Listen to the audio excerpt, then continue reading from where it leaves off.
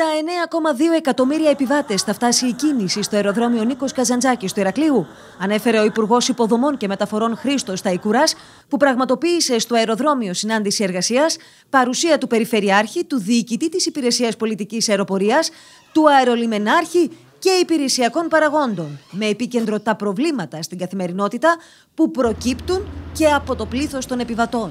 Τυπώνεται σε όλη την Ελλάδα μια σημαντική αύξηση του τουρισμού.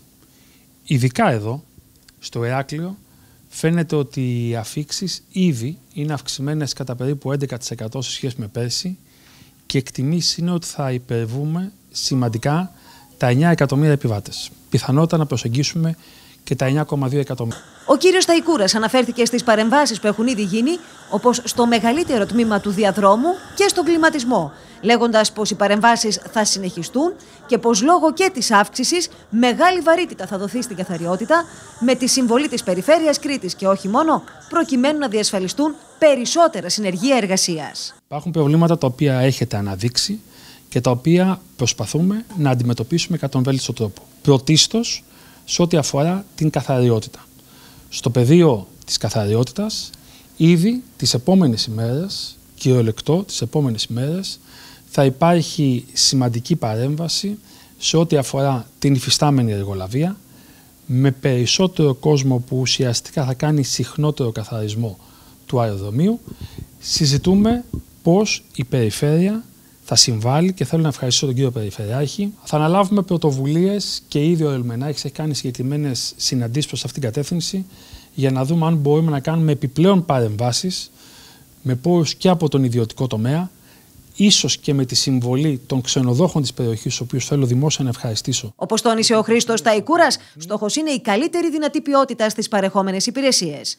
Άλλωστε, όπως ανέφερε, ακόμη και σε επίπεδο καθυστερήσεων τα αεροδρόμια της χώρας αποτυπώνουν καλύτερη εικόνα σε σύγκριση ακόμη και με διεθνή αεροδρόμια. Βλέπετε στο εξωτερικό, σε πάρα πολλά φημισμένα αεροδρόμια, να υπάρχουν πολύ περισσότερες καθυστερήσεις. Πενθυμίζω και επαναλαμβάνω ότι σε πρόσφατη συνάντηση την οποία είχαμε στο γραφείο μου, στο Υπουργείο Υποδομών και Μεταφορών, τα στοιχεία που παρουσίασε είπα δείχνουν μια βελτίωση της κατάστασης σε σχέση με την αντίστοιχη περσινή περίοδο, χωρίς να σημαίνει ότι δεν υφίσταται πρόβλημα. Ο Υπουργός Υποδομών και Μεταφορών επανέλαβε ότι η καταληκτική ημερομηνία για το έργο του νέου Διεθνούς Αεροδρομίου στο Καστέλι είναι το Φεβρουάριο του 2027 και πως θα συνεχιστούν οι παρεμβάσεις ακόμη και για το ζήτημα της πρόσβασης στο αεροδρόμιο. Είμαστε συνεννόηση, όπως είχαμε ενημερώσει μετά από επίσκεψη του κ. Ταχιάου στην περιοχή λίγο πριν τις ευρωεκλογές, με το Υπουργείο Πολιτισμού για να δούμε τι άλλες παρεμβάσεις χρειάζονται ώστε να βελτιώσουμε και την πρόσβαση στο αεροδρόμιο.